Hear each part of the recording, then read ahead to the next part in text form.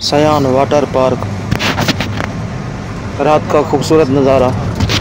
असलकुम वीवर्स आज की एक नई वीडियो में खुश आमदीद।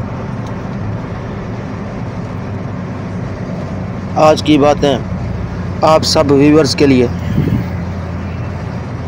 जो लोग पानी में एल्फी डाल कर नहाते हैं, और आज वो लोग कभी टूट कर बिखरा नहीं करते। ऐसे वैसे यहाँ अफलाक लिए फिरते हैं।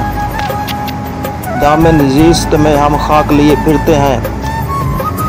लोग हर रोज़ बदलते हैं ताल्लुक का लिबास। लोग हर रोज़ बदलते हैं ताल्लुक का लिबास। और हम एक ही पोशाक लिए फिरते हैं। व्यूवर्स, ये छोटी सी वीडियो अगर आप सबको पसंद आई है तो चैनल को सब्सक्राइब लाइक आगे लाजमी शेयर करें।